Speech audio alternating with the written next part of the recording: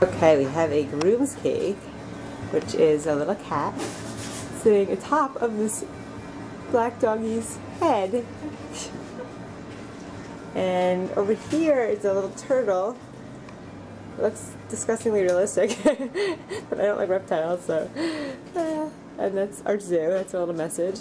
And he's got a Jets collar on. Got some Jets fans here. And then we're going to spin the cake so you can see their cute little tushies. okay, there's the cat. His little legs dangling. I would like to see this actually happen in real life, but the cake is pretty funny. There's a little tail. Hello. There's a turtle's tushy. There's the kitty's tushy.